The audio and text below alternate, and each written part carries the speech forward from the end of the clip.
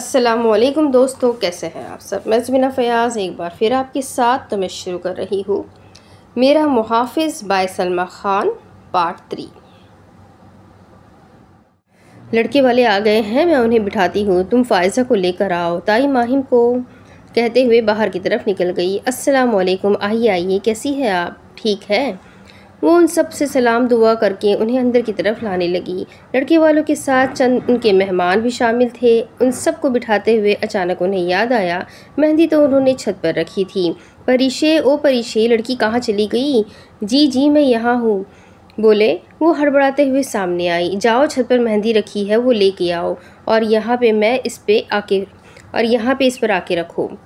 जी मैं लाती हूँ। ये कहकर छत की तरफ़ बढ़ने लगी। जाने जाने माश बढ़ बढ़ते बढ़ने जाने बढ़ने लगी।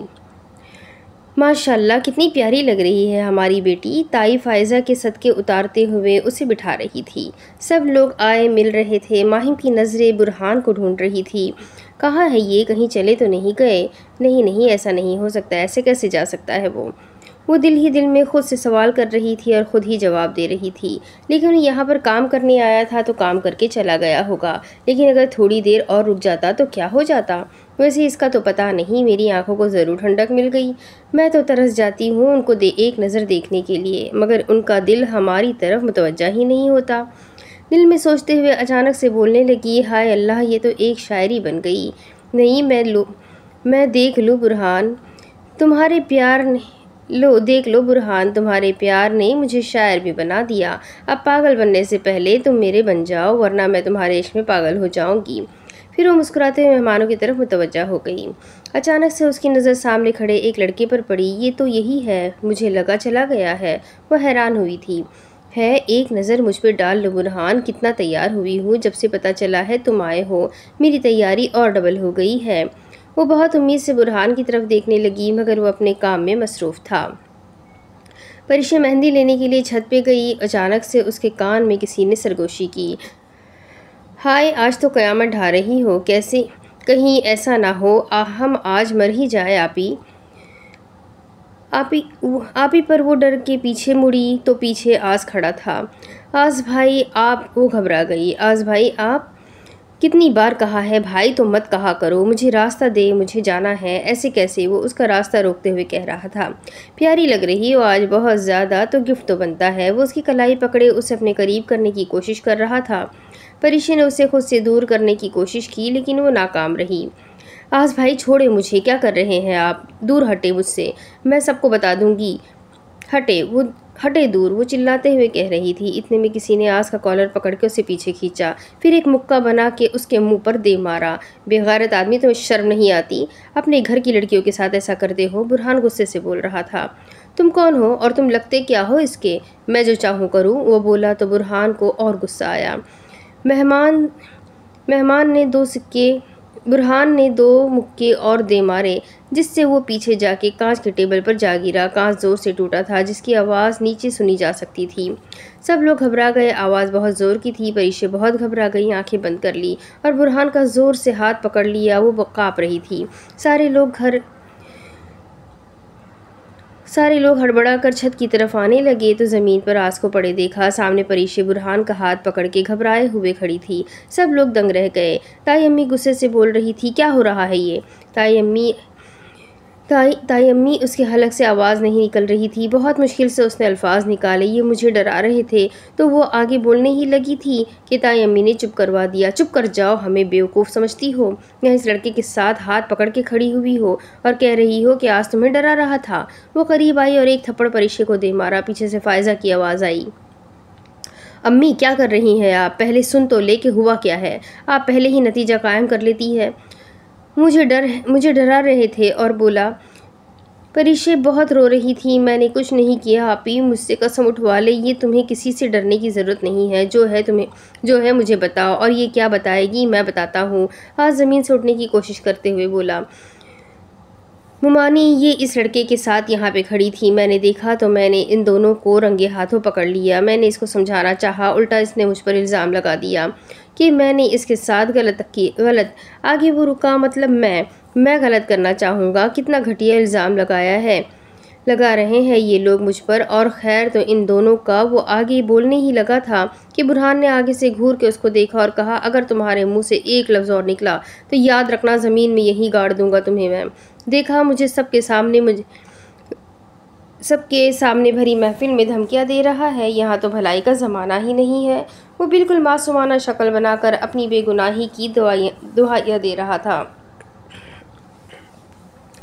नहीं बेटा, हमें यकीन है तुम पे, तुमने कुछ नहीं किया, ज़रूर उसी ने ही कुछ किया होगा। रोना बंद करो, बहुत देख लिए तुम्हारे ड्रामे, अब यहाँ ये मासूम बन जाओगी। मैंने तो कुछ नहीं, कुछ किया नहीं, मैं तो कुछ जानती नहीं हूँ। तुम तो दूध पी पी दूध पीती बच्ची हो ना, जो कुछ नहीं जानती। ताई अम्मी गुस्से से परीक्षे को डांट रही थी। अल्लाह का लाख शुक्र है, शादी होने से पहले ही हमें हकीकत पता चल गई। बाद में चलती तो क्या करते हम? फायजा की सास कह रही थी। अरे अरे नहीं, आप गलत समझ रही है, मेरी बेटी ऐसी नहीं है। इसने कुछ भी नहीं किया, मैं आपको बताती हूँ।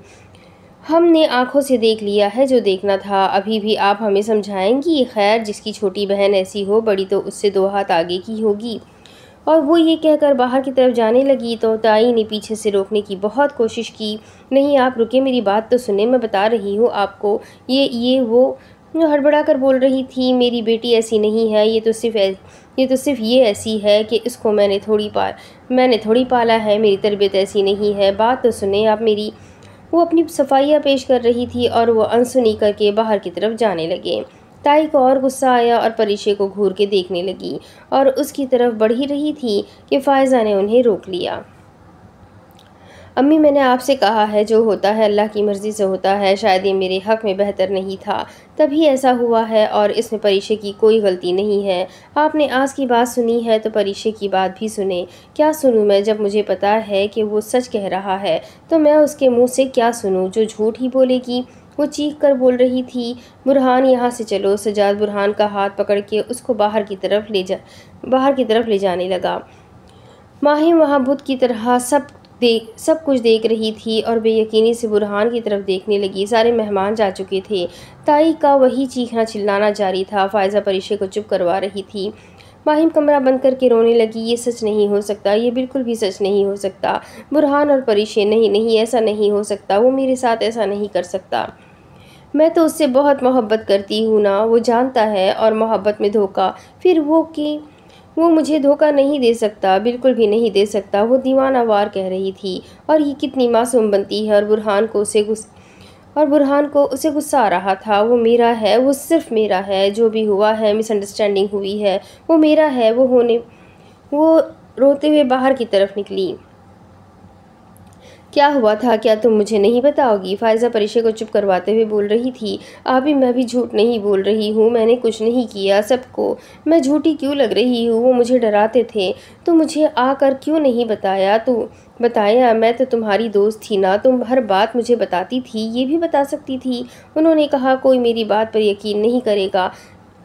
कोई मेरी बात पर यकीन नहीं करेगा, सब मुझे ही गलत ठहराएँगे। उसकी आँखों से बारिश की तरह आँसू टपक रहे थे और ऐसा ही हुआ सबने मुझे गलत ठहराया, सबको मैं गलत लगती हूँ। उनको लगता है कि मेरा इस लड़के के साथ वो आगे ना बोल पाई। बस कर जाओ, मुझे पता है मेरी गुड़िया, ऐसा कुछ भी नहीं कर सकती। मैं तुम्हें अच्छी तरीके से जानती हूँ, तुम ऐसा कोई काम नहीं कर सकती। नहीं करोगी जिससे हमें शर्मिंदगी महसूस हो। कोई तुम्हारा भरोसा करे या ना करे, मैं तुम्हारे साथ हूँ। आया, समझ रोना बंद करो। आप ही आई एम सॉरी क्यों?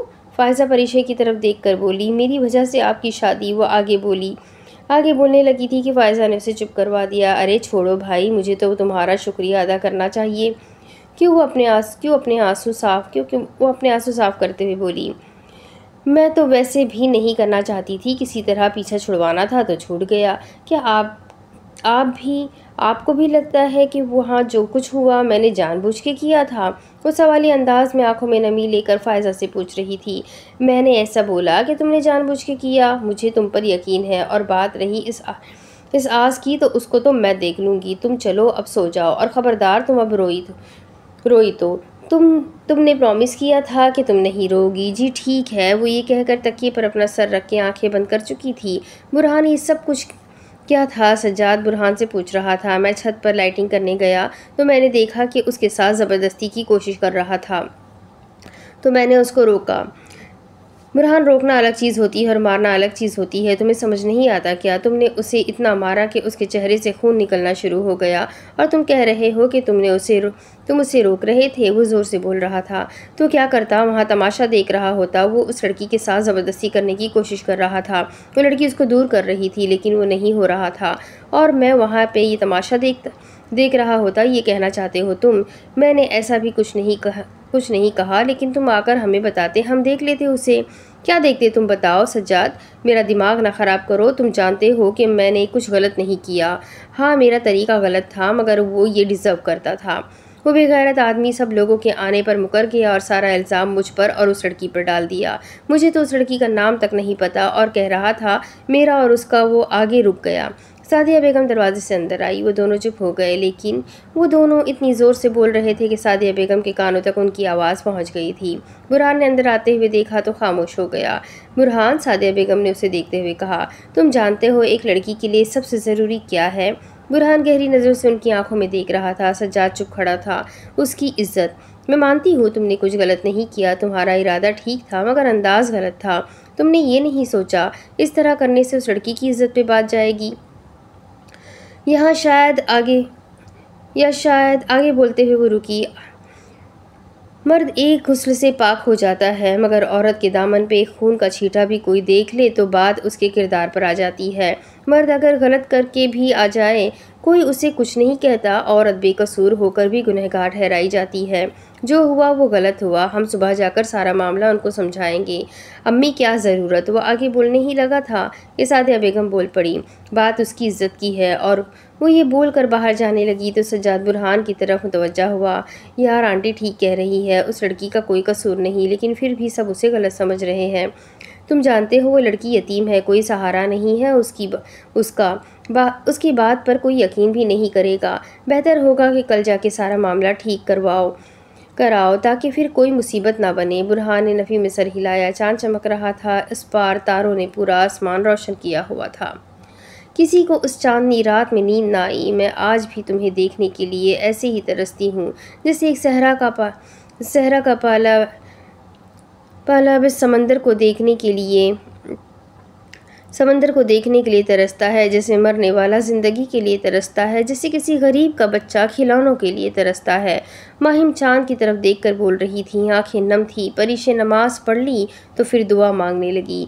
या अल्लाह जी आपको तो पता है ना कि मैंने कुछ नहीं किया। मैं बेकसूर हूँ, कोई मेरी बात पर यकीन नहीं करेगा। लेकिन तू तो मालिक है ना, तू मेरी बेकसूरी मेरी बेकसूरी साबित कर दे, मैंने कुछ भी नहीं किया। वो रो रो की दुहाइयाँ दे रही थी।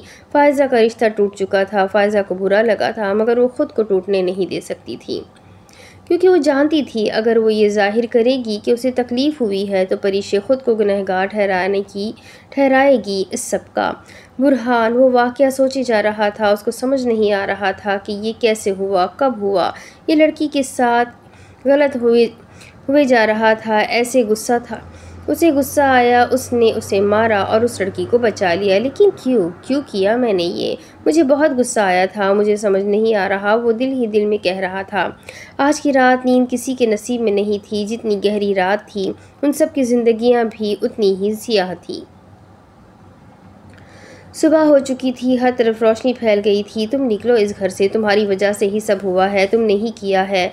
ताई परेशा, परिशे का हाथ पकड़ के उसे घर के सहन में ले आई थी। ताई अम्मी, मैंने कुछ नहीं किया, यकीन करे मुझ पे। मैं बेकसूर हूँ, ताई अम्मी। वो अपनी बेकसूरी साबित करने की कोशिश कर रही थी। तुम्हारी वजह से मेरी बेटी की शादी टूट गई। अब कौन करेगा मेरी बेटी से शादी, बताओ? तुम्हारी वजह से सब हुआ है। काश अपने माँ बाप के साथ तुम भी बचपन में ही मर जाती और हम पर यह अजाब कभी ना आता। अम्मी, छोड़े इसका हाथ। क्या कर रही हैं आप? फायजा बीच में आई और परिशे का हाथ छुड़वाया। अम्मी जो भी हुआ, अल्लाह की मर्ज़ी है, जो कुछ भी होता है, उसमें अल्लाह की मसलहत होती है। शायद वो मेरे लिए बेहतर नहीं था, इसीलिए मेरी शादी नहीं हुई। इससे ये चीज़ आप लोगों को क्यों नहीं समझ आती कि हर चीज़ अल्लाह की मर्ज़ी से होती है? ना कि इंसान की मर्ज़ी से, वो बाकायदा चीख कर बोल रही थी, तुम चुप करो, तुम्हारी वजह से ही हुआ है, तुमने ही इसे सर पे चढ़ाया है। ताई फ़ायज़ा पर गुस्सा करने लगी परीशे की आँखों से आँसू गिर रहे थे। जैसे तेज़ बारिश में कतरे गिरते हैं, मैं उसको एक मिनट अपने घर में बर्दाश्त नहीं करूँगी। ताई का आज पारा सातवें आसमान पर था। क्या सोचा था मैंने, तुम्हारी शादी करूँगी, एक बोझ सर से उतरेगा। उसके बाद माहिम के बारे में सोचूँगी, उसामा की पढ़ाई पूरी होने के बाद वो नौकरी करेगा और हालात ठीक हो जाएँगे। लेकिन सब बर्बाद कर दिया इसने और इस मासूम बच्चे पर भी, उस मासूम बच्चे पर भी उसने इतना घटिया इल्ज़ाम लगा दिया, बोझ। अम्मी, मैं खुद करती हूँ सब कुछ। आप लोगों के भी अखराज मैं उठाती हूँ ना। मैंने कभी आप लोगों को बहुत, आप लोगों को बहुत समझाया, मगर आप क्या मुझे बोझ समझती है, जो अपने सर से उतार रही थी? फ़ायज़ा की आँखों में बेयकीनी उतर आई और आप मासूम कहते हैं, आप मासूम कहते हैं उसे जो इतने सालों तक उसको डराता रहा। उसने क्या समझा बिन माँ बाप की बच्ची है तो जो चाहे कर सकता है। मैं तो आज उसके घर जाके ऐसा सुनाऊँगी ना। कि उसके साथ नस्लें याद रखेगी। मैंने परीशे को कभी अपना कज़िन नहीं समझा। वो बहनों से बढ़कर है मेरे लिए। मैंने उसे माओ की तरह पाला है और उसने गलत नज़र रखी है उस पर और आप मासूम कहती है, वाह, अम्मी, आफरीन हो आपकी अकल पर। फ़ायज़ा के लहजे में गुस्सा उतर आया था। माहिम शोर सुन के बाहर आई। बाहर आते ही सबसे पहली नज़र परीशे पर पड़ी। तो आँखों में गुस्सा भर आया और दिल ही दिल में उसे सुकून महसूस हो रहा था। साथ में गुस्सा भी था, जो हो रहा है तुम्हारे साथ सही हो रहा है। तुम्हारी वजह से बुरहान पर कितना घटिया इल्ज़ाम लगा है। वो और तुम, मैं तो सोच भी नहीं सकती। बुरहान की चॉइस इतनी ख़राब नहीं हो सकती। माहिम को परिशे कुछ ख़ास पसंद नहीं थी, मगर कभी उससे नफ़रत नहीं की थी। जो भी उससे कपड़े टाइट हो जाते, वो उसे दे देती थी। अपनी यूज़ की हुई चीज़ें जो फेंकने जैसी होती है, वो भी वो उसे दे देती थी। उसे वो अच्छी नहीं लगती थी, लेकिन इस वक्त माहिम को उससे नफ़रत हो रही थी। इसी वक्त दरवाजे पर दस्तक हुई। कौन? ताई अम्मी ज़ोर से चिल्लाई। हम अंदर आ सकते हैं। बाहर एक औरत ब्लू ब्लू कलर के शलवार, कमीज़, जेबतन किए हुए थी। चेहरे पर स्काफ किया हुआ था, जिससे बाल नज़र नहीं आ रहे थे और उनके साथ एक लड़का था। बड़ी हाइट वाला, फिट बॉडी वाला, हैंडसम सा लड़का। ताई की नज़र जैसे उस लड़के पर पड़ी तो गुस्से से बोली, तुम तुम यहाँ क्या कर रहे हो? बुरहान तो वहीं चुप खड़ा रहा। सादिया बेगम ने अंदर की अंदर आने की इजाज़त तलब की। हमको खुशी हुई थी, मगर वो ये बात जानने से कासिर थी कि बुरहान की अम्मी क्यों आई है। देखे बहन, मुझे आपसे ज़रूरी बात। आप मेरी बात सुने, हिम्मत कैसे हुई मेरे घर आने की? ताई ने सादिया से सादिया से, सादिया की बात काट के अपनी बात शुरू की। बेगम तो फ़ाय तो फ़ायज़ा ने उनको फ़ायज़ा ने उनको बैठने का इशारा किया और ताई को बोला, अम्मी, सुन तो ले क्या काम है इनको। उस लड़के ने रात को जो किया था, उसके बाद कुछ सुनना बाकी है, बताओ तुम, वो ऊँची आवाज़ में बोली। तो सादिया ने दूर खड़ी एक सहमी हुई लड़की, जिसकी आँखें लाल हुई थी, उस पर डाली। पहले बुरहान को देखा, फिर सज्जाद को। सज्जाद इशारे से समझ गया था कि वो क्या पूछना चाह रही है। उसने हाँ में सर हिलाया। देखिए, आपको कुछ गलतफहमी हुई है। कल जो सभी कुछ हुआ, उसमें ना मेरे बेटे का कोई कसूर है, ना ही आपकी बेटी। वो आगे बोलने लगी थी कि ताई ने उन्हें रोका। मेरी बेटी नहीं है वो। मेरी बेटी ऐसी कुछ हरकत नहीं कर सकती। सज्जाद ने एक नज़र दूर खड़ी हुई माहिम पे डाली और दिल में ये कहने लगा, आपकी बेटी क्या क्या कर सकती है? वो आप अभी जानती नहीं है। वो दिल में सोचते हुए बुरहान की तरफ़ नज़र घुमाई। तो बुरहान अपने जूतों की तरफ़ देख रहा था। मैं अपने बेटे को अच्छी तरीके से जानता हूँ। जानती हूँ, थोड़ा जज्बाती है, कुछ गलत होते हुए देखता है तो काबू नहीं रख पाता। गलत गलत तो इसने किया, खुद गलती करते हुए पकड़ा गया तो सारा इल्ज़ाम उसने आस पर लगा दिया। ये तो वही बात हो गई ना, उल्टा चोर कोतवाल को डांटे। आप मेरी बात सुने, मुझे कुछ, वो आगे बोलने लगी थी कि फ़ायज़ा ने धीरे से उनके कान में सरगोशी की। अम्मी, इनकी एक बार बात आराम से सुन ले। फिर आपने जो करना है, आप कर लीजिएगा खुदा के लिए। फ़ायज़ा सन मिन्नत भरे अंदाज में कह रही थी तो ताई चुप कर गई, मैं सच कह रहा हूँ, कल मैंने यही देखा था कि वो उसके साथ, वो आगे बोलते हुए रुका। नाजरीन, नज़रें उठाई तो सामने खड़ी परीशे पर पड़ी। जिसने कल के ही कपड़े पहने हुए थे, बाल दुपट्टे से बाहर आ रहे थे, गाल गुलाबी आँखें लाल हो चुकी थी, जैसे कि बहुत ज़्यादा रोई हो, जिसमें पूरा काँप रहा था और वो बिल्कुल मासूम बच्ची लग रही थी। एक नज़र उसको देखने के बाद उसने नज़रें फिर से झुका ली, वो उसे देख नहीं पाया। लेकिन क्यों? क्यों उसे देख, क्यों वो उसे देख नहीं पा रहा था कि उसे तकलीफ़ हो रही थी? उसे तकलीफ़ में देखकर ये बात उसे भी समझ समझ नहीं आ रही थी। हाँ मियाँ, कल तुम और ये बीबी छत पे जो कर रहे थे, उस बच्चे ने वो आगे बोलने ही लगी थी कि बुरहान भड़क के उठा। सब खामोश हो गए। आप किसी के किरदार पर बात कर रही हैं और जिस लड़की के किरदार पर आप बात कर रही है, वो आपके हाथों में पली हुई है। आपने ही उसे पाला है कि आपको अपनी तरबियत पर भरोसा नहीं है क्या? आपने उसकी अच्छी तरबियत की है या नहीं? आप उसके किरदार पर बात कर रही हैं, इससे यही साबित होता है कि आपको उस पर भरोसा नहीं है। तो फिर आपको अपनी तरबियत पर भी नज़र रखनी चाहिए। वो स्पीड में बोले जा रहा था, चारों तरफ़ सन्नाटा फैल गया था, बुरहान गुस्से में था, दूर खड़ी माहिम पत्थर बन गई थी। उसका सर फटने लगा था, उसको समझ नहीं आ रहा था कि क्या हो रहा है।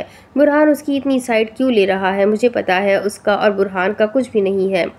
मगर बुरहान ऐसा क्यों कर रहा है? ताई हैरान हो गई थी। फायजा ने उनका हाथ थपथपाया तो जैसे वो किसी ख्वाब से बेदार हुई। अपने हवास संभाले और बोलने लगी, जब तक कि इस घर में है, इस घर में कुछ अच्छा नहीं हो सकता, मेरी बेटियाँ यहीं पड़ी रह जाएगी, मैं ये बर्दाश्त नहीं कर सकती, मैंने सोच लिया है। लाइबा ने अपने बेटे के लिए परीक्षे को मांगा था, बस उनको आज ही बुला के, आज ही निकाह सादगी से पढ़वा के, उसे रवाना करती हूँ सोच लिया है मैंने। वो ये बोल बोल रही थी कि फ़ायज़ा आगे से बोल पड़ी। अम्मी वो हैरानी से बोल रही थी, आप जानती हैं उनका बेटा शराबी है, जुआ खेलता है, लड़कियों को छेड़ता, जेल भी जा चुका है। कौन सा ऐसा गलत काम नहीं है जो उसने नहीं किया? और आप उससे उसकी शादी करा के उसकी ज़िंदगी क्यों बर्बाद करना चाहती हैं? परिशे वहीं बुद्ध बने खड़ी रही। उसे किसी चीज़ का होश नहीं था, उसे ये भी नहीं पता था कि क्या बातें हो रही है। उसे रोना आ रहा था और दिल ही दिल में अल्लाह से शिकायतें करे जा रही थी। कि उसके साथ ऐसा क्यों होता है? आप ही कहती है, अल्लाह जिनसे मोहब्बत करता है, उन पर तकलीफ़ें लाता है और फिर उन तकलीफ़ों को हटा देता है। तो मेरी तकलीफ़ें कब ख़त्म होगी? कब हटेंगी? कब मैं एक अच्छी ज़िंदगी जीऊँगी? वो यही सोच रही थी। तुम चुप करो, मुझे इस बला की, बला को जल्दी इस घर से रवाना करना है। मेरा बस चले तो किसी भी अरे गहरे से इसको बुला, इसको, इस बला को, इसको बुला दूँ। तो शुक्र करो लाइबा ने अपने बेटे के लिए इसका रिश्ता मांगा है। कोई जहेज़ वहज़ भी नहीं लेगी, उसको दफ़ा करो। इस घर से फिर मैं, फिर ही मुझे सुकून मिलेगा। सादिया बेगम, बुरहान और सज्जाद भी वहीं चुपचाप सारी बातें सुन रहे थे। बुरहान को बुरा लगा था। बुरहान ने एक नज़र दूर खड़ी परीक्षे पर डाली तो बुरहान का दिल जैसे बाहर आने को हुआ। उसकी आँखों से आँसू बहना फिर से शुरू हो गए। बुरहान का बस नहीं चल रहा था कि उसे जाके चुप करवा दे। ये चीज़ ये बेकरारी सज्जाद ने नोट की थी। लेकिन बुरहान को समझ नहीं आ रहा था कि उससे, उस लड़की से क्यों इतनी हमदर्दी है। हालाँकि उनकी पहली मुलाकात बहुत बुरी रही थी, जिस पे बुरहान ने उसे पागल भी कहा था और बुरहान को लड़की शदीद बुरी लगी थी। मगर कल और आज उसे तकलीफ़ में देखकर बुरहान को जैसे तकलीफ़ हो रही थी। वो सुबह उन सब के लिए हरगिज़ खुशगवार नहीं था। सब वहीं अपनी सोचों में गुम थे। ताई दरवाजे से अंदर आई और परिशे का ज़ोर से बाजू पकड़ा और आगे खींचा। वो झटका खाकर आगे बढ़ी। आँसू उसकी आँखों से टप टप बरसे जा रहे थे। ताई अम्मी मुझे दर्द हो रहा है। खुदा के लिए मेरा हाथ छोड़े। मुझे दर्द हो रहा है। ताई को रहम ना आया। खींच कर उसे आगे की तरफ़ किया। इस लड़की के लिए तूने ये सब किया था ना? तेरे और इस लड़के की वजह से मेरी बेटी का रिश्ता टूट गया। शादी होते हुए रह गई। तुझे उसके पास जाना है ना तो जा, हमारा पीछा छोड़ दे। अभी काजी को बुला के दो बोल पढ़ा के दफ़ा करती हूँ तुम्हें घर से। फायजा आगे बढ़ी तो ताई ने गिरा, ताई ने गिरा कर उसे बोला। ताई ने गुर्रा कर उसे बोला, तुम चुप कर जाओ, अपनी ज़िंदगी इसके पीछे ख़राब कर चुकी हो तुम। मेरे दो फ़र्ज़ मैं तुम लोगों को रुखसत कर दूँगी तो सुकून से मर पाऊँगी। सुकून से मर पाऊँगी मैं, लेकिन जब तक तो जब तक ज़िंदा हूँ, मेरी तकलीफ़ें मत बढ़ाओ। तुम लोग, वो चीख कर बोल रही थी, पीछे खड़ी माहिम सुन पड़ गई थी। उसके पाँव के नीचे से ज़मीन ज़मीन जैसे किसी ने निकाल ली हो, उसका चेहरा गुस्से से सुर्ख हो रहा था। आँखों में खून उतर आया था और उन्हीं आँखों से उसको देख रही थी, जिसकी आँखें झुकी हुई थी। वो चुप करके सारी बात सुन रहा था। उसकी माँ ने उसके हाथ पर हाथ रखा, मेरे साथ आओ, मुझे बात करनी है, तुम तुम अम्मी ये सब क्या हो रहा है? ये क्या कह रही है? मैं ऐसा कुछ नहीं चाहता और ना ही मेरा इस लड़की। तुम निकाह करोगे इस लड़की से? वो आगे बोलने ही लगा था कि सादिया बेगम ने फैसला सुना दिया था। अम्मी, वो बेयकीनी से उनकी तरफ़ देख रहा था। मैं इस लड़की को नहीं जानता, मुझे नहीं पता कौन है और आप कह रही है मैं कि मैं शादी उसके सर पे जैसे किसी ने बम फोड़ा था। बुरहान, मेरी बात सुनो। उस लड़की की इज़्ज़त पे बात आई है। हमें उसकी इज़्ज़त बचानी है। मैं जानती हूँ तुम बेकसूर हो। तुमने कुछ भी नहीं किया। जी, ऐसा ही है। मैं बेकसूर हूँ। मैंने कुछ भी नहीं किया। तुम मुझे क्यों तो मुझे क्यों सज़ा मिल रही है? वो गुस्से से बोल रहा था। वो ज़मीन पे भारी पाँव रखते हुए कमरे की तरफ़ जा रही थी। दरवाज़ा बंद करके आईने की तरफ़ खुद को देखने लगी। आईने में अपना अक्स देख रही थी। वो नहीं करेगा। वो हर की शादी नहीं करेगा। वो तो मेरा है, सिर्फ़ मेरा। और अम्मी उसे गुस्सा आ रहा था। वो किसी भी अरे गहरे से शादी करवा देती, लेकिन उन्हें क्या यही मिला था शादी के लिए? मैं ऐसा नहीं होने दूँगी। हर किस नहीं होने दूँगी। मैं उसे मोहब्बत करती हूँ और वो वो आईने की तरफ़ देखने लगी तो ऐसा महसूस हो रहा था कि सामने कोई उसे सवाल कर रहा है। क्या वो तुमसे मोहब्बत करता है? तुम्हारा मोहब्बत करना काफ़ी नहीं है, उसे एक तरफा मोहब्बत कहते हैं जो तुमने की है। उस, मगर वो तुमसे मोहब्बत नहीं करता, नहीं, ऐसा नहीं हो सकता, वो मुझे पसंद करता है। वो दीवाना वार कह रही थी, वो मुझे पसंद करता है करता है, फिर जैसे तेज़ हवाओं के बाद बारिश शुरू होती है। वैसे ही उसकी आँखों से आँसू बहना शुरू हो गए। क्यों? क्यों उसे मुझसे मोहब्बत नहीं होती? क्यों वो मेरी मोहब्बत का जवाब मोहब्बत से नहीं देता? मुझे वो हर हाल में कबूल है, मगर मैं उसे किसी हाल में भी कबूल नहीं हूँ। मैं नहीं रह सकती उसके बगैर, या अल्लाह मेरा दिल बंद हो जाएगा। वो अपना हाथ दीवार पे मारे रोने, रोए जा रही थी। वो बेयकीनी से उनकी तरफ़ देख रहा था, बुरहान याद रखो, मर्द अगर गुनाह करके आता है ना तो वो एक गुस्से से पाक हो जाता है। मगर औरत के दामन पे खून का छीटा भी किसी को नज़र आ जाए तो बद किरदार कहलाई जाती है। इस बच्ची की इज़्ज़त पे बात आई है और याद रखो, इसमें तुम्हारा भी नाम लिया जा रहा है। तुम अपनी आँखों से देख रहे हो, कोई तुम्हें नहीं बोल रहा। मगर इस बच्ची, वो सहन में खड़ी हुई परीक्षा की तरफ़ इशारा करके बोल रही थी, इसकी हालत देखो, इसके साथ क्या सलूक हो रहा है? वो देखो और फिर फैसला लेना कि तुमने क्या करना है। तुम जानते हो अल्लाह ताला के करीब ज़्यादातर वो लोग होते हैं जो दूसरों की इज़्ज़त बचाए बचाए, चाहे इसमें इंसान का अपना ही नुकसान क्यों ना हो, मगर किसी की इज़्ज़त बचाना बहुत अफजल अमल है। आगे फ़ैसला तुम्हारा है, वो ये कहकर अंदर की तरफ़ बढ़ने लगी तो पीछे से बुरहान की फैस, बुरहान की फ़ैसला, बुरहान का फ़ैसला था। वो वो तो तो उससे वो आवाज़ आई, मैं कर लेता हूँ।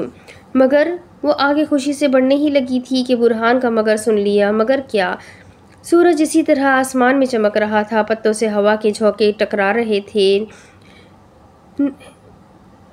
मगर क्या? सादिया बेगम ने बुरहान की तरफ़ गहरी निगाहों, गहरी आँखों से देखते हुए पूछा, कुछ देर सहन में सन्नाटा रहा? उसके बाद बुरहान फिर, बुरहान ने बोला, मुझसे वादा करे कि जब भी मुझे आपकी ज़रूरत पड़ेगी, आगे चल के आप मेरा साथ देंगी। आगे चल के क्या मतलब है इस बात का बुरहान?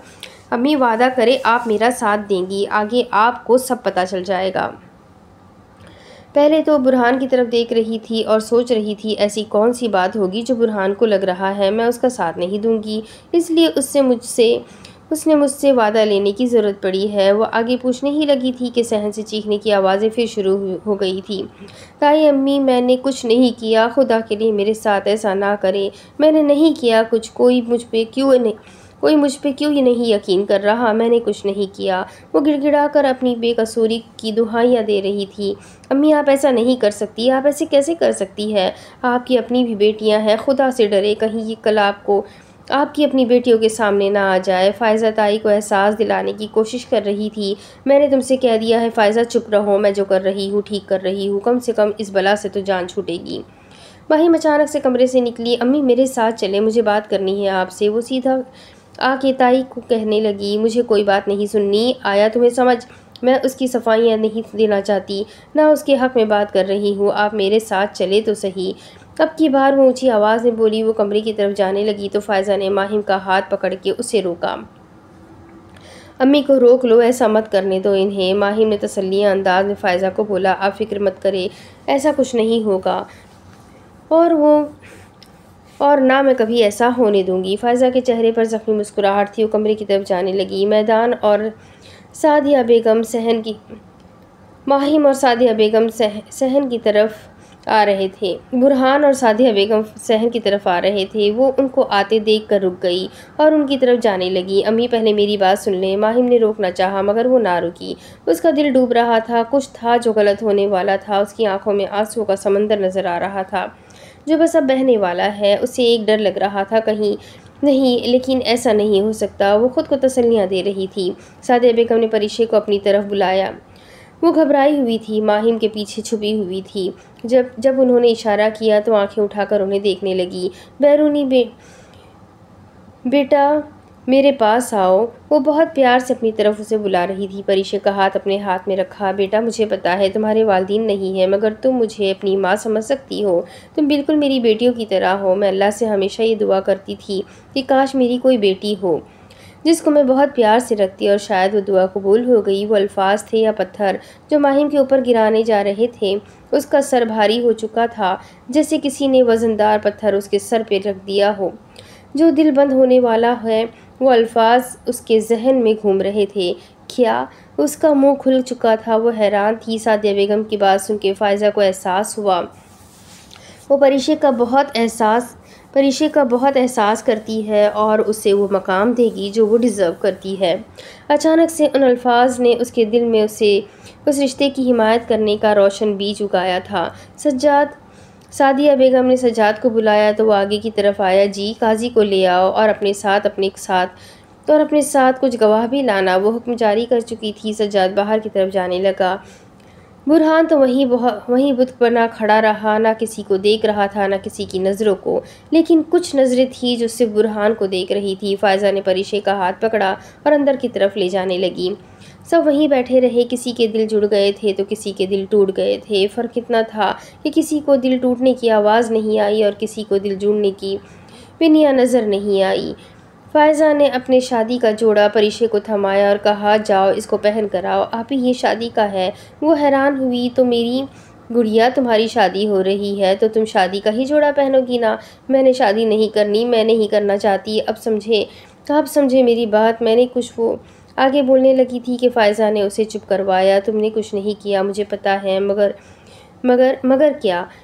मेरी गुड़िया, वो लोग बहुत अच्छे हैं। तुमने देखा ना, वो तुम्हारा कितना ख्याल रखती है। मुझे यकीन है, जिस एहसास कमी का तुम शिकार यहाँ पर थी, वहाँ पे तुम्हें नहीं होगी। जो माँ का प्यार तुम्हें कभी नहीं मिला, वो तुम्हें देंगी। वो तुम्हें बहुत खुश रखेंगी। और वो वो आगे बोलते हुए रुकी, वो लड़का। फ़ायज़ा के चेहरे पर मुस्कुराहट आई। वो लड़का तुम्हारा होने वाला शौहर है। मुझे नहीं पसंद वो लड़का, बिल्कुल भी नहीं पसंद। आप जानती है, उस दिन बाज़ार में वो लड़ाई मेरी गुड़िया, मेरी बात सुनो, वो उसको चुप कराते हुए समझा रही थी। इंसान की ज़िंदगी के बहुत सारे मरहले होते हैं, जो इंसान को पार करने होते हैं। अगर वो उनको कामयाबी से पार नहीं करते तो उन्हें नाकाम कहा जाता है। हम जो देखते हैं कभी कभार वो चीज़ सच नहीं होती, या हम उस काम का मतलब गलत समझ बैठते हैं। मगर फिर हमें पता चलता है कि वो काम ठीक था। हाँ उसको करने का अंदाज़ ज़रूर ऐसा था कि लोगों को गलत लगे, लेकिन वो काम ठीक था। और जब हमारे पास सिवाय पछतावे के कुछ हाथ नहीं रहता, हो सकता है तुमने जो देखा हो वो तुम्हें गलत लग रहा हो, मगर वो सही है। मैं नहीं जानती बाज़ार में क्यों वो लड़ाई कर रहा था और क्या मकसद था, मगर मुझे आज उसको देखकर इस चीज़ का अंदाज़ा हुआ कि वो गलत इंसान नहीं है, वो दिल का अच्छा है। बात रही, वो तुम्हें पसंद करता है या नहीं, ये चीज़ तुम पे डिपेंड करता है कि तुम उसे खुद के करीब करो या दूर। मैं ये नहीं कह रही, तुम उसे मजबूर करो खुद से मोहब्बत करने पर, या तुम खुद ज़बरदस्ती उसे मोहब्बत करो, ऐसा नहीं है मेरा बच्चा। मैं सिर्फ़ ये चाहती हूँ कि तुम जैसी हो, वहाँ पर वैसी ही रहो, खुद को ना बदलो। मेरी परिशे सबका ख्याल रखने वाली, सबके लिए अच्छा सोचने वाली। कोई उसे बुरा भला कह भी दे तो दिल में कोई बुराई नहीं रखती। उस इंसान के लिए हर वक्त लोगों के सामने हंसने वाली वैसी ही बनकर रहो।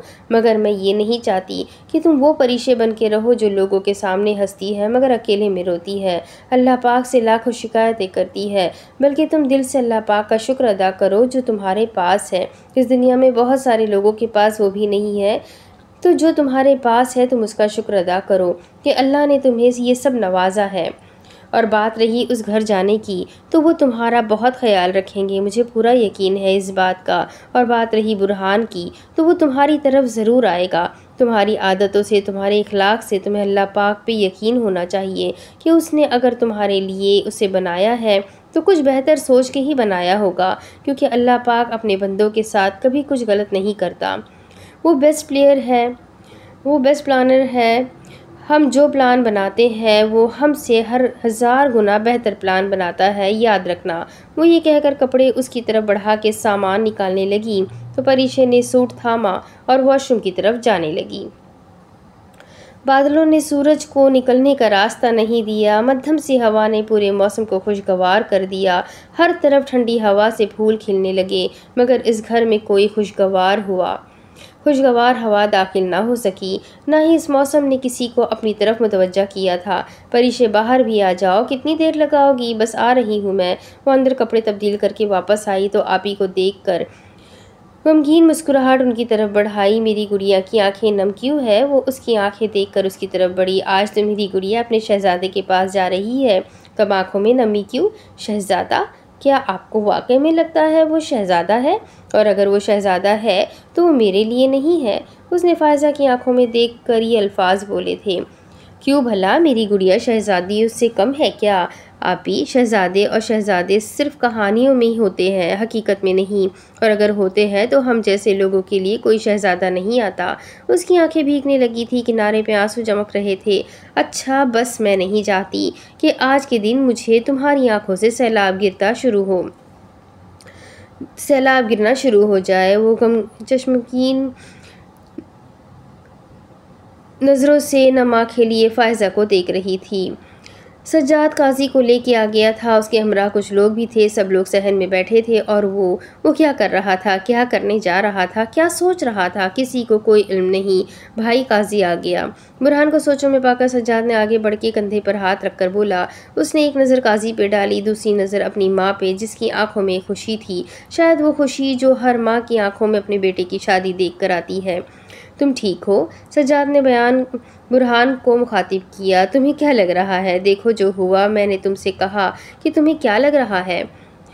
बुरहान ने संजीदा अंदाज अपना सवाल दोहराया। वो कुछ न कह सका। मैं एक मसले, एक ऐसे मसले में फंस गया हूँ जहाँ से मैं नहीं निकल सकता। अभी थोड़ी देर बाद मेरा इस लड़की से निकाह होने वाला है, जिसको मैं जानता तक नहीं हूँ।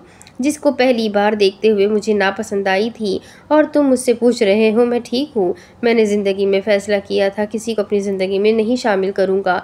मैं और मेरी माँ, हम दोनों एक दूसरे के लिए काफ़ी है। और अब सज्जाद गौर से उसकी बातें सुन रहा था, एक लड़की मेरी ज़िंदगी में शामिल होने वाली है, यानी मेरी एक और ज़िम्मेदारी, किसी लड़की को अपनी ज़िंदगी में हर की शामिल नहीं कर सकता, क्योंकि मैं ये ज़िम्मेदारी नहीं उठा सकता। मेरा रिश्तों से भरोसा उलझ चुका है, उठ चुका है। तुम्हें क्या लगता है? मुझे नहीं पता। क्या? सज्जाद ने सवालिया अंदाज में उसकी तरफ़ देखा। कि माही मेरे बारे में क्या फ़ील करती है? मुझे पता है, सब कुछ मेरे इल्म में है। मैंने आज तक उसको कोई तसल्ली नहीं दी, क्योंकि मैं जानता हूँ कि वो मेरी, मैं वो पूरी नहीं कर सकता। मुझे अफसोस उस लड़की पे है कि जिस आग में मैं जल रहा हूँ, मेरे साथ अब वही जले, अब वो भी जलेगी। मुझे खुद पर अफसोस नहीं है, मुझे उस लड़की पर रहम आ रहा है कि जिसकी ज़िंदगी अब ख़राब होने वाली है। सजाद परेशान था, उसको समझ नहीं आ रहा था कि बुरहान ऐसी बातें क्यों कर रहा है। क्या हुआ है, क्या हो रहा है तुम्हारी ज़िंदगी में? वो उससे पूछने लगा। तो बुरहान ने दूसरी तरफ़ मुँह फेर लिया। सज्जाद बेचैन हो गया था। ऐसा क्या है जो ये हमें बता नहीं रहा? कुछ तो है सज्जाद, कुछ तजस हुआ। सज्जाद को तजस हुआ। दरवाज़ा ज़ोर से बंद हुआ। आवाज़ इतनी तेज़ थी कि वो सहम गई और घबरा कर बेयकीनी से सामने खड़ी लड़की को देख रही थी। माहिम क्या हो गया है तुमने मुझे? वो आगे बोलने ही लगी थी कि माहिम ने आगे बढ़ के उसको चुप करवाया। बात सुनो तुम मेरी। परी शेडर से पीछे हट गई। नीचे जाकर तुम मना कर दोगी। आया तुम्हें समझ? तुम मना कर दोगी, तुम हरगिज़ नहीं करोगी। क्या क्या आप चाहती है कि मैं नीचे निकाह वो आगे बोलने ही लगी थी? माहिम ने उसकी कलाई पकड़ के उसको अपनी तरफ़ खींचा। हाँ निकाह तुम मना करोगी, तुम नहीं कर सकती नीचे चल के बोलोगी। आया समझ में? तुम्हें उसकी आँखों में खून उतर आया था। आँखें खून की तरह लाल हो रही थी। वो गुस्से से चिल्ला के बोल रही थी। पर ऋषि बहुत घबरा गई थी। उसका ये रूप उसने पहली बार देखा था। वो कुछ बोल ही नहीं पाई और वहीं बेयकीनी से उसका चेहरा देखती रही। परिशे बाहर आओ। दरवाज़ा क्यों लॉक है? फ़ायज़ा दरवाज़े पे उसको बुलाने आई थी। माहिम ने अपने जज्बात बहुत मुश्किल से संभाले, अपने चेहरे को ठीक किया और उसका हाथ पकड़ के उसको आगे किया। घबराओ नहीं, जो कहा है वो करना। अब की बार उसने बहुत नरम लहजे में कहा था, परीक्षा अभी तक पत्थर का मुजस्मा बनी उसका चेहरा देख रही थी। जी, मैं ला ही रही थी। माहिम ने बात संभाली अच्छा आओ नीचे, जल्दी काजी साहब बुला रहे हैं। मैं लेके आती हूँ फ़ायज़ा ने फ़ायज़ा फ़ायज़ा जाने ही लगी थी कि परीक्षे का जवाब ना पाकर उसकी तरफ़ मुतवजा हुई। कुछ हुआ है? नहीं, उसने बहुत मुश्किल से अपने तासुरात ठीक करना चाहे। फ़ायज़ा को परेशानी हुई तो माहिम को आगे भेज कर वो खुद परीक्षे की तरफ़ बढ़ी। तुम चलो, मैं लेकर आती हूँ उसको। ओके क्या कर वो ओके क्या कर वो एक पीछे एक नज़र पीछे परीक्षे पर डाल कर बाहर की तरफ़ जाने लगी। बाय, माशाल्लाह। हाय, माशाल्लाह, किसी की नज़र ना लगे मेरी गुड़िया को। बहुत प्यारी लग रही हो। उसने एक सौगवार मुस्कुराहट आगे बढ़ाई। अभी सीढ़ियों पर ही थे कि परीक्षा अचानक से रुक गई। मैं आती हूँ, ये कहकर ऊपर चली गई। माहिम को हौसला हुआ और अपना मूड ठीक करके मेहमानों को देखती रही। उसने शीशे में अपना चेहरा देखा और कल से लेकर आज तक के सारे मामले पर नज़र नज़र डाली कि वो क्या करने जा रही है? ये कैसे हुआ? कब हुआ? क्यों हुआ? आगे क्या होगा?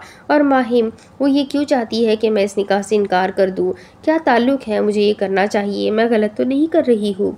मैं इस निकाह से, मैं इस इंसान से निकाह करने जा रही हूँ जिसको मैं जानती तक नहीं हूँ, जिससे मुझे पहली नज़र में बहुत बुरा लगा था। उसका जैसे सर चकरा रहा था, किसी ने पत्थर उठाकर उसके सर पे ला रखा हो। ऐसा महसूस हो रहा था, नहीं, मैंने फ़ैसला कर लिया है, मुझे क्या करना है? बाहर सब उनका इंतज़ार कर रहे थे। परीशे ने अपने हवास बहाल करके बाहर की तरफ़ आने लगी।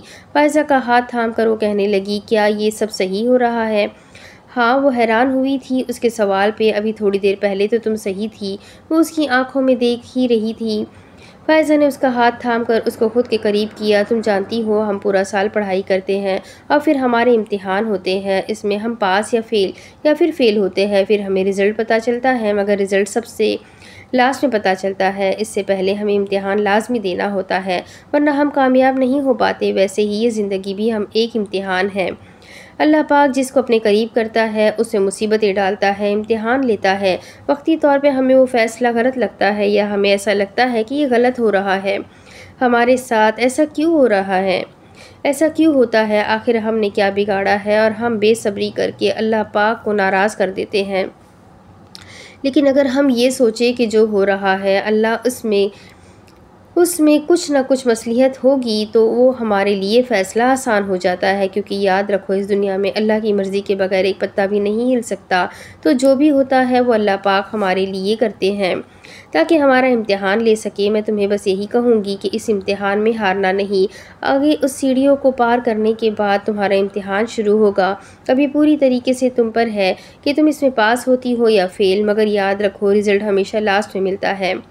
इम्तिहान देने के बाद हमें सब्र करना होता है, उसके बाद नतीजा हमें याद, हमें दिया जाता है। वैसे ही आगे जो इम्तिहान तुम दोगी, उसके बाद तुम्हें सब्र करना होगा और अल्लाह पाक तुम्हें उसका नतीजा बहुत जल्द देगा।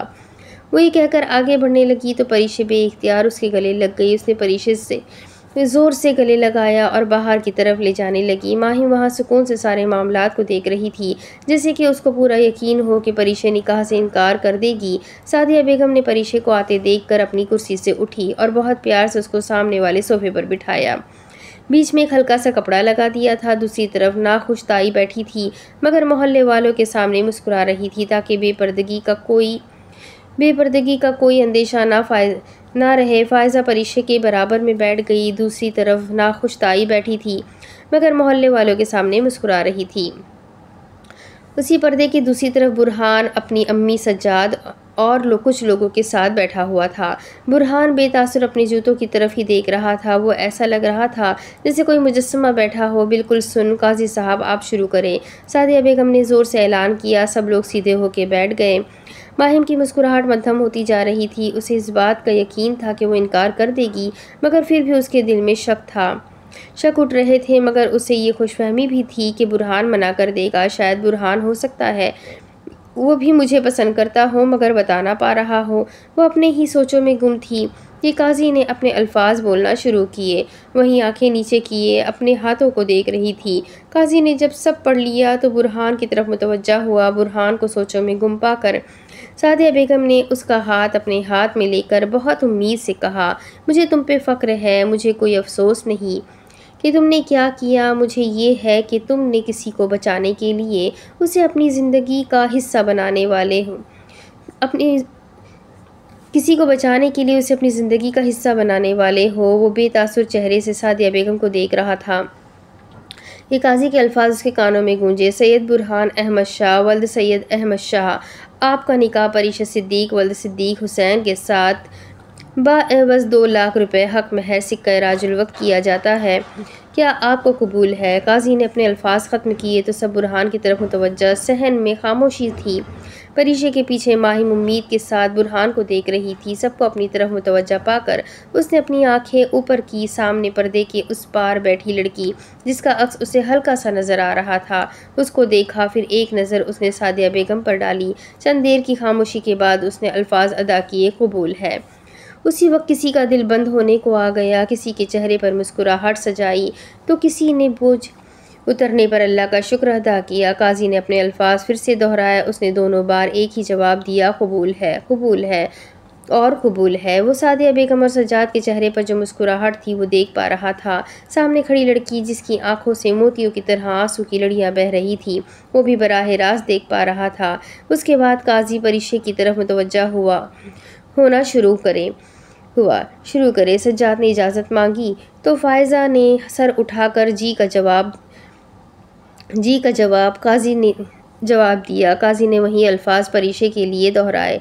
परीशे सिद्दीक, वल्द सिद्दीक हुसैन, आपका निकाह सैयद बुरहान अहमद शाह, वल्द सैयद अहमद शाह के साथ बावज़ दो लाख रुपए हक महर सिक्का राजुल वक्त अदा किया जाता है। क्या आपको कबूल है? फैज़ा ने परीशे को घबराते देखकर उसका हाथ थामा। परीशे को हौसला हुआ। मध्यम आवाज़ में उसने कबूल है कि अल्फाज अदा किए और जैसे माहिम पे किसी ने पहाड़ तोड़ दिया हो, वो हक्का बक्का परीशे को देख रही थी। बेयकीनी से हैरान होकर, गुस्से से आग बगोला होकर आँखों में अंगारे उतर आए थे। उसे देख रही थी। नहीं नहीं, उसने जेर लफ्ज़ी अल्फाज अदा किए। ये ऐसा कैसे कर सकती है? ये हरगिज़ उसने उसने ये कैसे कैसे किया? उसको समझ नहीं आ रहा था कि वो कह क्या रही है। उसने ग्लास उठाया और आगे की तरफ़ बढ़ने ही लगी थी कि जवेरिया ने उसको पीछे खींचा और कमरे में ले गई। तुम पागल हो गई हो क्या?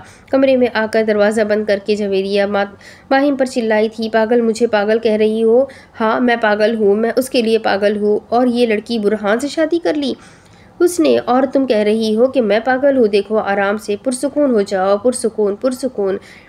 माय फुट मैं जान से मार डालूँगी उसको, चाहे उसके बाद मुझे जेल चले जाना पड़े, बहुत सुकून से जाऊँगी मैं, लेकिन इसको मैं जान से मार डालूँगी। वो गुस्से में बोले जा रही थी, जवेरिया ने उसको बहुत रोकने की कोशिश की, मगर उसका गुस्सा बढ़ता ही जा रहा था। मैं बुरहान से सालों से मोहब्बत करती हूँ और ये इतनी आसानी से उसने नीचे नीचे कबूल है कह दिया, इतनी आसानी से खुदा के लिए आहिस्ता बोलो, कोई सुन लेगा। सुनता है तो सुन ले, मुझे फ़र्क नहीं पड़ता, मैं जान से मार डालूँगी उसको। मैं घर को आग लगा दूँगी, मैं सबको मार डालूँगी। वह आगे बढ़ने लगी तो जवेरिया ने एक ज़ोरदार थप्पड़ उसके मुँह पे रसीद किया। वो एक पल के लिए रुक गई और उसकी तरफ़ देखने लगी, तुमने मुझे थप्पड़ मारा? हाँ मारा तो क्या करती मैं? जवीरा ने अब की बार गुस्से में बोला था, मैं तुमसे कहे जा रही हूँ, सुकून से बैठो, हम कुछ सोचते हैं। तो तुम पागलों की तरह मार मारने की बातें कर रही हो, क्या उसको मारने से बुरहान तुम्हें मिल जाएगा? और अपने घर वालों की नज़र में तुम्हारी क्या इज़्ज़त रह जाएगी? हाँ बताओ मुझे। तुम अच्छे तरीके से जानती हो, इस वक्त सिवाय चुप रहने के कुछ नहीं हो सकता। उसने अपना लहजा नरम किया तो फिर मैं क्या करूँ? तुम बताओ मुझे, मैं क्या करूँ? वो ज़मीन पर घुटनों के बल बैठे रोकर उससे पूछ रही थी, तुम जानती हो, मैं उससे बहुत मोहब्बत करती हूँ, मैंने दुआओं में मांगा है उसको, कोई ऐसी नमाज़ नहीं थी जिसमें मैंने उसको ना मांगा हो, कोई ऐसी दुआ नहीं थी जो बुरहान के बगैर मुकम्मल हो, मैंने हर उस जगह उसको मांगा है, जहाँ ये जहाँ ये मुझे उम्मीद थी। कि वो मुझे मिलेगा, तुम्हें पता है, मैं हमेशा उस लड़की को, उस लड़के को देखती थी तो मैं सोचती थी, कितनी बदकिस्मत है ये। घर पे अम्मी हर वक्त उसको बातें सुनाती, कोई अच्छे से उससे बात नहीं करता, सिवाय फ़ायज़ा आपी के। लेकिन मुझे उस पर तरस आता था, लेकिन आज पहली बार मुझे उस पर रश्क आ रहा है। उसका गुस्सा ठंडा पड़ गया था, गुस्से की जगह आंसुओं ने जग ले ली थी। मुझे लगता है बहुत बदकिस्मत है ये, मगर ये तो वो सांस लेने के लिए रुकी जो जवेरिया को देखकर बोली, ऐसा क्यों होता है? हम जिसको बहुत दुआओं में मांगे, वो दुआओं के बावजूद हमें नहीं मिलता। और कोई उसको कहीं भी ना मांगे और उसे बिन मांगे वो मिल जाता है। मैंने उसे कितनी दुआओं में मांगा, मुझे नहीं मिला, लेकिन उसे बिन मांगे वो मिल गया। मेरे साथ क्यों हुआ ऐसे? क्यों हुआ वो अपने हाथ ज़मीन पे ज़ोर से मारते हुए रो रही थी। जवेरिया ने उसको तसल्ली दी और उसे अगले से, उसे गले से लगाया, सब ठीक हो जाएगा मेरी जान, तुम सब्र रखो, सब ठीक हो जाएगा। चाँद आसमान पर डेरा जमाने के लिए तैयार था, समंदर सूरज को अपने अंदर लेने ही वाला था। अंधेरा छाने वाला है, तारे आसमान पर अपना जलवा बिखेरने वाले हैं। हर तरफ़ रोशनी का समा बनने वाला था, निकाह हो चुका था, मुबारकबाद का सिलसिला जारी था। कोई दिल से खुश था तो कोई दिल में नफ़रत लेके बैठा था। किसी के चेहरे पे खुशी थी तो किसी के चेहरे पे गम। किसी की इस दिन ज़िंदगी बनी थी तो किसी की बर्बाद हुई थी। कुछ लोग एक हुए थे तो कुछ लोग जुदा हुए थे। कुछ लोगों के दिल जुड़े थे तो कुछ के टूटे थे। कुछ लोगों ने सुकून का सांस लिया था तो कुछ लोगों ने मुसीबत सर से हटने के लिए शुक्र अदा किया था। कोई चेहरे चेहरे मुनाफिक थे तो कोई चेहरे मुखलिस, वहाँ पे बहुत से चेहरे थे। सब चेहरे पे एक नकाब था, लेकिन वो सबसे बेखबर लड़की, जिसे किसी की पहचान न थी, वो सिर्फ़ अल्लाह पे भरोसा करके उस इंसान को अपना सफ़र हम सफ़र बना चुकी थी। जिसे वो जानती तक नहीं है, चले अब रात होने वाली है, हमें चलना चाहिए। सादिया बेगम ने आवाज़ से बुलंद कहा। सब लोग उनकी तरफ़ मुतवजा हो गए। जी ठीक है, फ़ायज़ा ये कहते हुए परीक्षे की तरफ़ आई।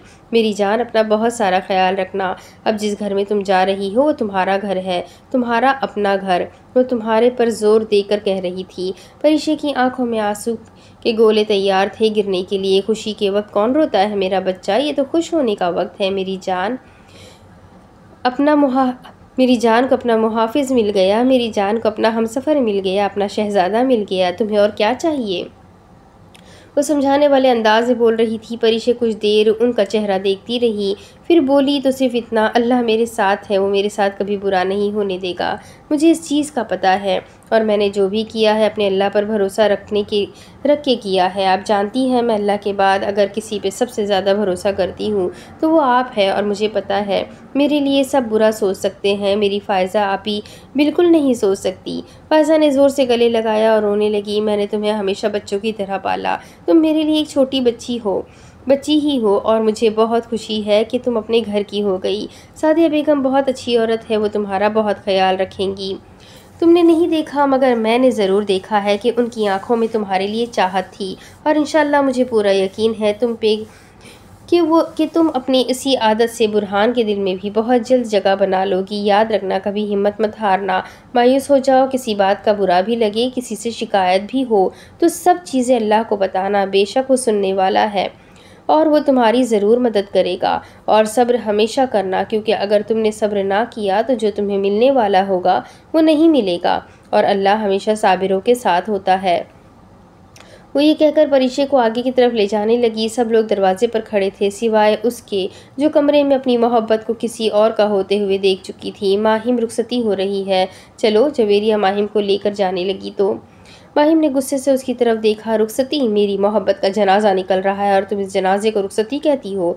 वो गुस्से से दहाड़ी थी, उस लड़की ने उसने, जिससे जिससे मैं बचपन से कुछ नहीं समझती थी, जिसे मैं अपने करीब तो दूर की बात उसे अपने आस पास नहीं बर्दाश्त कर सकती, वो लड़की आज मेरी मोहब्बत को मुझसे ले गई। मेरी मोहब्बत जिसे मैं पाक लूँ, जिसे मैं पालूँगी, पाने की तरह पागलों की तरह चाहती हूँ। उसे वो लड़की ले गई। वो जुनूनी अंदाज में कह रही थी, देखो, अब कुछ नहीं हो सकता। जो होना था, वो हो गया। और बात रही बुरहान की तो शायद वो तुम्हारी किस्मत में नहीं था। और वैसे भी वो एक तरफ़ा मोहब्बत थी, वो तुमसे नहीं करता। मोहब्बत ये बात तुम भी जानती हो, फिर भी तुम उसके पीछे पड़ी हुई हो। छोड़ो, दफ़ा करो, लड़के लड़के की दुनिया में कमी नहीं है और हमारी माहिम तो है ही इतनी प्यारी। हर लड़का तुम पे मरता है और तुम उस लड़के के लिए ख़ुद को मार रही हो। पागल पागल हो चुकी हो क्या? वो चिढ़कर बोली, थी, सही कह, सही कहा तुमने। दुनिया में लड़के बहुत है, सारे हैं, बहुत सारे हैं, मगर वो तो नहीं है ना। कोई भी मुझ पर दिल हार सकता है। मगर वो तो नहीं हार सकता ना। मैंने कितनी कोशिशें की उसे अपना बनाने की, मगर मैं नहीं कर पाई। मुझे समझ नहीं आ रहा जब एरिया मैं क्या करूँ? मेरा दिल रुक सा गया है। मेरा दिल चाह रहा है कि मैं सबको जला दूँ, आग लगा दूँ इस दुनिया को। वो रोते हुए बोल रही थी, देखो, रोने से कुछ भी नहीं होगा तो बात तो समझो। मैं तो समझ जाऊँ कि इस दिल को कौन समझाएगा। अरे, माहिम किधर है? एक औरत ने माहिम को इस वक्त वहाँ पर ना पाकर सवाल किया। माहिम हाँ ये कहाँ गई? अभी यही तो थी। ताई ने, ताई भी हैरान होकर कहने लगी।